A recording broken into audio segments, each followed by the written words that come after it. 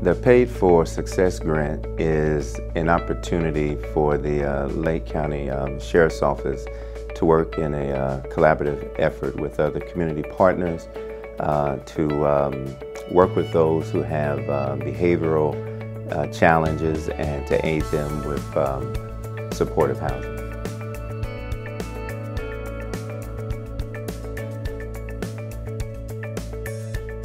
We've estimated that there are between 25 and 30 percent of the people that come into the Lake County Jail have some kind of mental health issue. What this program would do was this would provide access for them to, to, to partner with other people that will come alongside of them and help them and direct them and guide them uh, to the resources that are out there to help them to achieve success.